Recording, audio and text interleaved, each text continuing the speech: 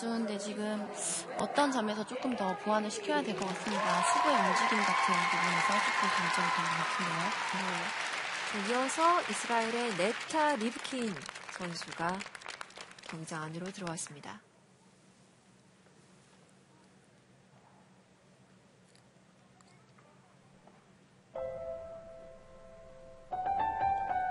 네, 처음 댄스템 시작을 했습니다.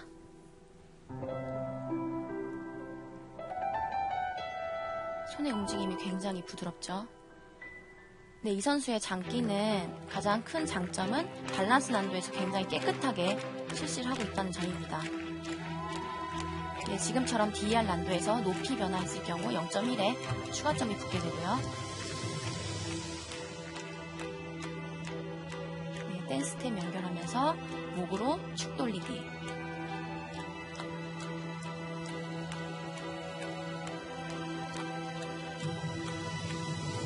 어짜 밸런스. 높이 던져서 턴 점프 하면서 다시 잡기.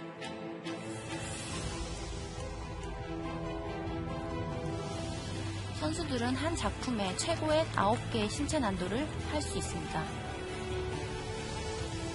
네, 턴 점프 시리즈 다리를 아래로 통과하면서 수구의 움직임을 갖게 했고요.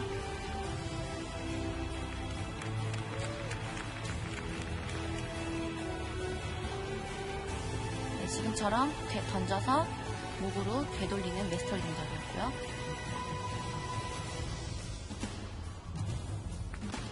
네, 마지막 DR 동작. 피벗까지. 네, 피벗 굉장히 깨끗했습니다. 네, 그리고 아주 강렬한 마무리.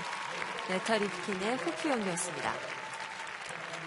지금 예선에서 네타 리브킨은 5위, 18점을 기록을 했는데요. 다시 한번 보실까요? 네, 지금처럼 밸런스 난도 후에 뒤로 회전했을 경우 밸런스 난도에 0.1에 추가점이 붙게 되고요. 네, 후프의 움직임이 굉장히 부드럽고 또한 강렬하게 움직이고 있- 있습니다. 네, 턴점프 시리즈를 연속으로 했을 경우에는 후프의 움직임이 같아도 무관하고요.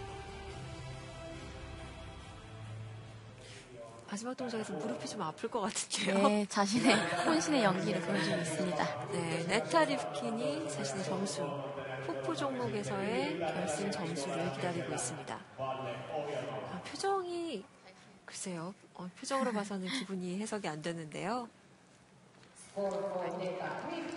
점수가 17.95, 4위에 오릅니다. 네, 아까 후프 움직임에서 전환으로 돌리는 실수를 약간 했던 것 같아요. 그 네. 부분에서 감점이 있었던 것 같, 같습니다.